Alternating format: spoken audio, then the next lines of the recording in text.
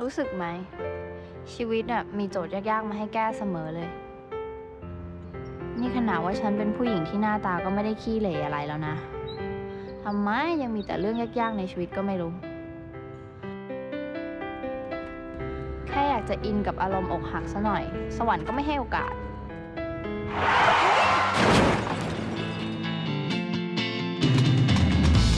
หมอได้ตรวจพบเมื่อเช้าเนี่ยคนไข้อะความจำเสื่อมครับ ช่ชื่อคุณหรือเปล่า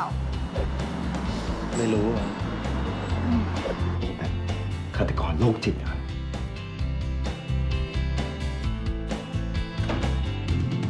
เฮ้ยทำไรอะ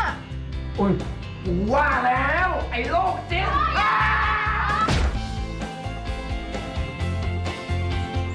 อย่าดีกว่ามั้งน้อง พี่อะนักมวยเก่านะ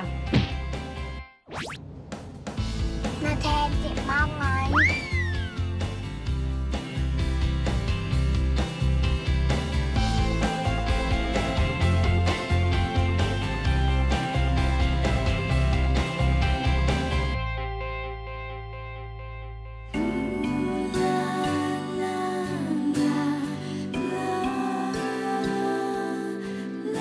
ผมจะไม่ตามหาความทรงจำแล้วนะ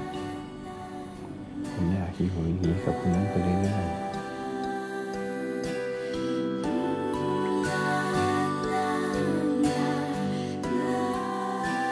ๆเป็นเมียกระเทยอะ ไม่อายเลยฮะ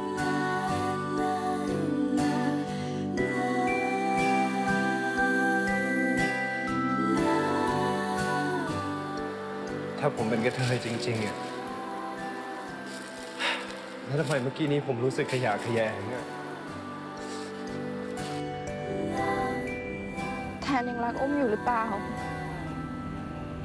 ยังรักอยู่หรือเปล่าแทน ขอบคุณที่ครั้งหนึ่งเคยผูกพันได้ร่วมทางกัน จนสุดหนทาง